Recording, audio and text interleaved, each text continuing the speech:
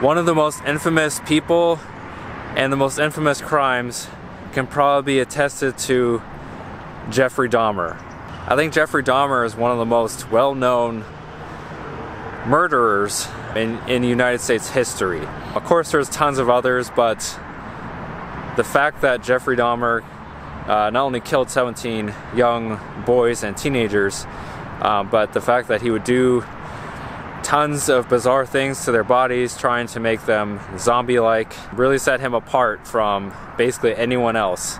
And this video is all about Jeffrey Dahmer.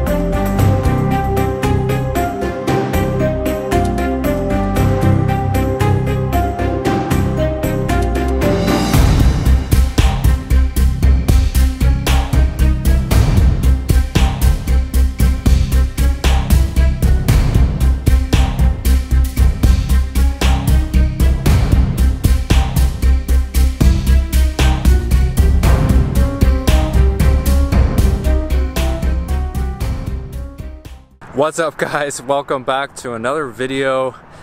This is probably the most uh, requested and well known of all the different videos I've done. So let's get into it. I'm guessing 90% of you know all about Jeffrey Dahmer, what happened, what he did. Um, so I'm not going to delve in too deep into like what he did, um, but I'll give you the basics and then I'll show you guys where his old apartment was, where he killed one of the victims, where the bar is, where he would basically pick up most of, uh, most if not all of um, the men that he eventually killed, and then of course the street where he would kind of go down and hang out at. So I'll show you guys uh, all the locations and go from there. Behind me is uh, Mitchell Park Horticultural Center. It just looked like a cool backdrop to kind of start this video out at. Just a really beautiful area, but I'm not that far away from where Jeffrey Dahmer's apartment was, where the murders took place, and some other locations nearby. So we're not that far away from, from all that. So Jeffrey Dahmer killed and dismembered 17 young men and boys from 1978 up until his arrest in 1991. Jeffrey Dahmer had lots of bizarre fascinations as a child. Um, you've probably heard a lot about it, but he would enjoy killing young animals and dismembering them and seeing what the inside of what an animal looked like. He kind of graduated from from dismembering and killing little animals, uh, of course, to dismembering and killing humans. If you watch some of the interviews, he and his dad apparently both had some kind of weird and scary thoughts and feelings. Some people think it might have been like a genetic type thing, maybe, uh, as his dad had similar thoughts and feelings. Jeffrey Dahmer didn't always live in Milwaukee, but uh, he eventually settled here what would become his famous apartment where he ended up murdering uh, most of the victims and of course trying to turn some of them into living zombies. So on June 18th, 1978, Jeffrey Dahmer picked up a hitchhiker named Steven Hicks, who was almost 19 at the time. Steven Hicks would unfortunately become Jeffrey Dahmer's first murder victim. What's interesting is the fact that Jeffrey Dahmer actually didn't kill anyone else for nine years after that. 1987 is when Jeffrey Dahmer began his real murder spree. 1978, when he killed Steven Hicks, um, that was the first one, but after that, he waited about nine years until he started his killing spree again. But that's probably due to many different factors. Um, couple couple interesting things I read was that Jeffrey Dahmer actually was in the army. He was there for about two and a half years or so. Uh, many men in the army claimed that they were drugged and raped by Dahmer and that Dahmer was drunk a lot. So he was dishonorably discharged from the army. Initially, after Dahmer was dishonorably discharged from the army, they asked him where he wanted to go and they give him a plane ticket. He didn't want to return back home at that point because he didn't want to disappoint his father for for being discharged from the army.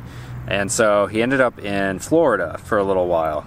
Um, no known uh, murders or anything like that happened down there in Florida. He returned back home to Ohio and he lived again with his father and stepmother. That didn't last for long. He ended up um, moving in with his grandmother in West Allis, Wisconsin, uh, 1987.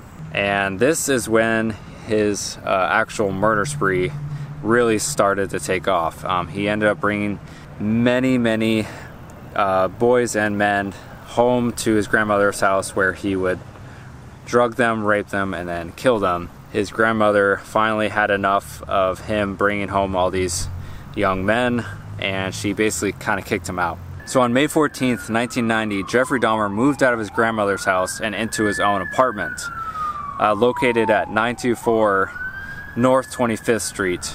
And the apartment was 213. Uh, so he moved from West Allis to Milwaukee. Again, after his move to his own apartment, the killings and rapes continued. So Jeffrey Dahmer's uh, murder and rape spree should have been stopped a long time ago before he was finally arrested on July 22nd, 1991. Um, there was many, many chances and opportunities for police to have arrested him sooner, but they didn't look hard enough. During the late 80s, Jeffrey Dahmer uh, was actually sentenced twice for uh, in, indecent exposure and actually was given probation, I believe, for the last time it happened. Um, five years probation. And in that probation, he was not supposed to have any contact with, yes, you can guess it, minors. So again, Jeffrey Dahmer probably should have been stopped a lot sooner, um, especially on the evening of May 26, 1991.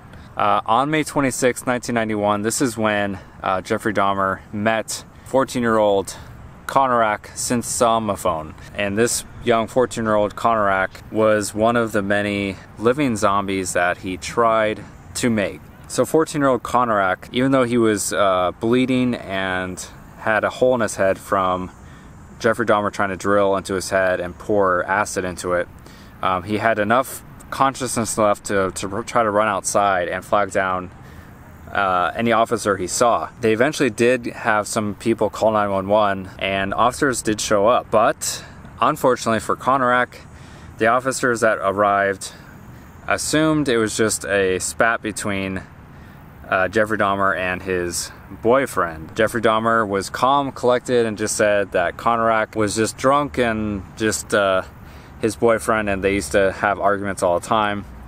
So even though the witnesses nearby yelled and pleaded with the officers to look more into the case, um, the officers just let it off and said, oh, it's probably just some boyfriend spat. Jeffrey Dahmer was able to get Konerak back into his apartment and eventually kill him. But anyway, so like I mentioned, um, th there's so many details and uh, information about each and every murder. It would take me like several hours give you every single detail. So I kind of just give you the highlights and then of course a couple of the main murders that that were more well known. All right, so this is obviously Shaker's Bar. This is the bar where Jeffrey Dahmer hung out at, where he picked up about half of his victims that he ended up murdering.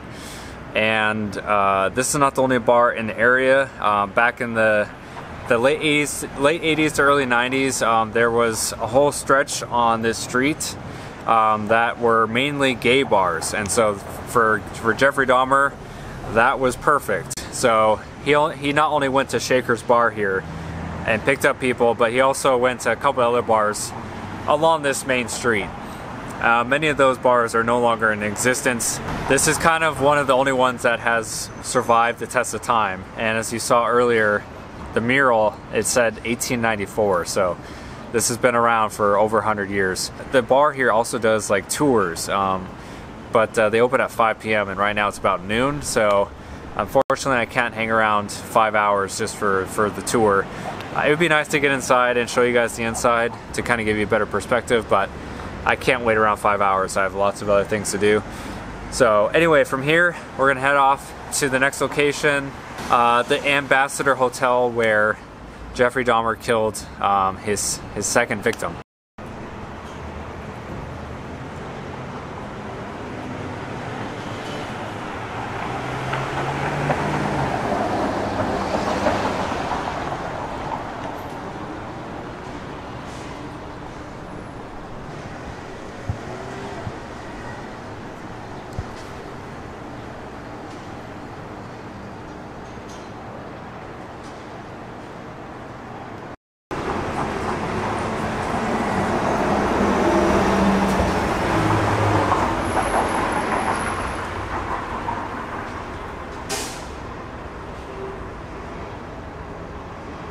So November 20th, 1987, Jeffrey Dahmer met uh, a guy named Steven Tuomi, who was 25 years old. Um, he met him, took him back to the Ambassador Hotel here. And Jeffrey Dahmer initially stated that uh, he wasn't intending to to kill Tuomi, but he woke up and Tuomi's chest was caved in. He was bruised, bleeding, and of course dead. Whether or not that's actually true or not, and he intended to kill him or not, I'm not exactly sure.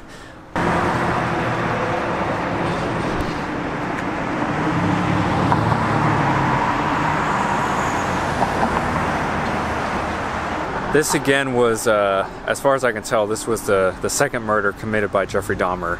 Um, the first murder was nine years earlier. Um, he killed Steven Hicks. Um, so this was the second murder nine years later uh, November 1987. This is this this is basically the catalyst that kind of uh, got Jeffrey Dahmer to continue his murder spree, and he ended up killing you know 17 people in total.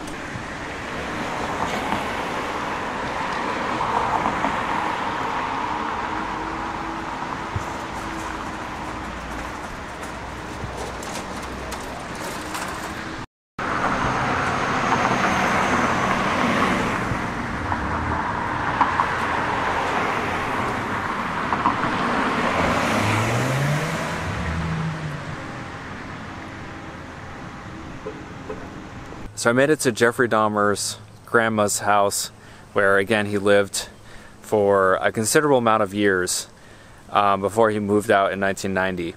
So again, he killed at least three of his 17 victims here at his grandmother's house. One of the other victims was again at the Ambassador Hotel. Grandma's house is located at 2357 South 57th Street. He lived there basically from when he got out of the army in 82 um, to when he moved out in 90. So I believe he lived there for about eight years, 82 to 90, give or take. Um, his grandma basically just coddled him and gave him as much money as he needed. I believe he got a job as like a phlebotomist for a little bit, um, but for the most part, he kind of just bounced around from a couple jobs and or just hanging out drinking um, and uh, obviously raping and killing people. But um, the main job he had was, I think, at some sort of phlebotomy clinic. He worked there for a little while, but for, besides that, he uh, he didn't really have much consistent work. Located at 924 North 25th Street, this is where Jeffrey Dahmer's apartment was located. Um, his apartment number was 213. They tore down the, the apartment complex for pretty much obvious reasons, you know, that no one wants to live in an apartment where something that brutal happened. They're forbidden to build anything on top of this uh, due to what happened, so it's just a empty empty grass uh, with the fence around it. But anyway guys, um, thank you so much for watching. Um, I showed you basically all the spots that that he hung out at or killed people at. So again, uh, I gave you uh, the more important details of everything. Um, if you if you again want to read up on him, just type in his name, you'll find literally dozens and dozens of other articles. I didn't want to bore you guys with a ton of different details, so I kind of just gave you the main the main ones. Um, so I hope you guys still enjoyed. Thank you so much for watching. If you enjoy these kind of videos about crime related stuff, definitely make sure you hit the subscribe button and the little bell next to it. Um, until next time, thanks again guys. My name is Harmon. I'll see you guys on the next one. Thanks for watching.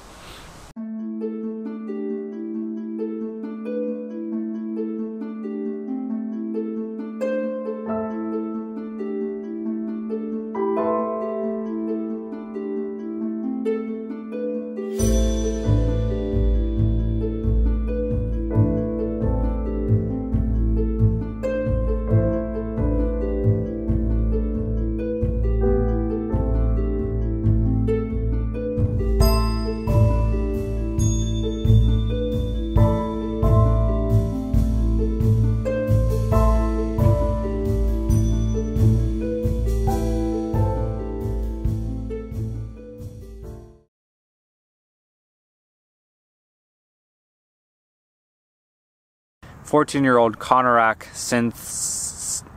Can't even say his last name. Synth. Uh, Syntha. Uh, May 26, 1991, this is when Jeffrey Dahmer met 14 year old Konerak Synth Somphone. Synth. Uh,